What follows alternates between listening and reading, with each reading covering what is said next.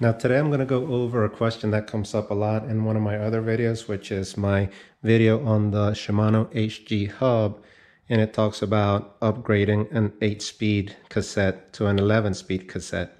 A lot of people end up asking if they can fit a 12-speed cassette on this same HG free hub. And the answer is yes and no. So yes, you can fit a 12-speed cassette on this hub as long as it is made for an HG hub. So SRAM has their own XD hub for their Eagle system. And now Shimano went to a 12 speed system which uses their micro spline hub. Now, why do they use different hubs than this, even though this can take a 12 speed? Is because this, the diameter of this free hub, will not allow for a sprocket smaller than 11 teeth. SRAM Eagle is 10 to 50 teeth, and so is Shimano Microspline 12 speed. The smallest cog you can use is a 10 speed. Gives you a wider range of gears, right? So while you can use this for a 12 speed system, you're going to be limited to a 11 speed small cog.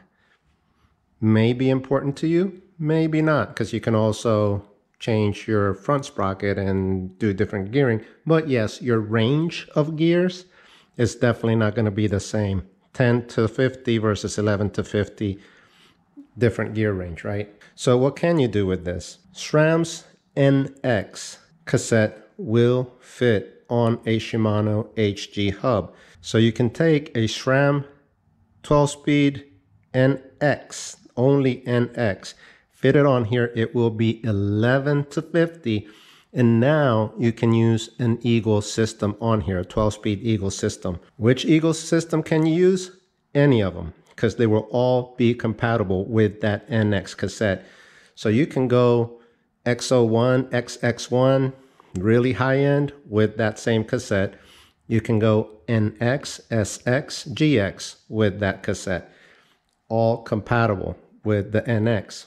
You can also buy a Sunrace. Sunrace makes an 11 to 50 cassette designed for the HG hub, and it will also be compatible with your NX, GX, Eagle system. So let's say you already have a Shimano SLX 1x10. You can take that out, put the 12 speed cassette on there, you can use your same narrow wide chain ring so you don't have to change your crankset or your chain ring. And then what you would need is a 12 speed derailleur, a 12 speed chain, and a 12 speed shifter. And you've upgraded to a 12 speed starting from your old Shimano HG. This could be a 1 by 8 system. You can do the same thing. This could be a 3 by 8 system. You can do the same thing, but then you will need to change to a narrow wide chainring in the front. You cannot go from a 7 speed rear system because the 7 speed hub is different. So 8, 9, 10, 11 is the same hub. And 12. So here I have my 12 speed system on my Venso. This wheel, if you ever follow my videos, this is a WTB STI 25 Shimano HG wheel set that I bought. And I initially had a, an 11 speed cassette on here. So I went and I got the NX. Now I have the NX cassette here, 11 to 50. I have a SRAM NX 12 speed chain and I went ahead and went with the GX on the derailleur. And I also went with the GX on the shifter.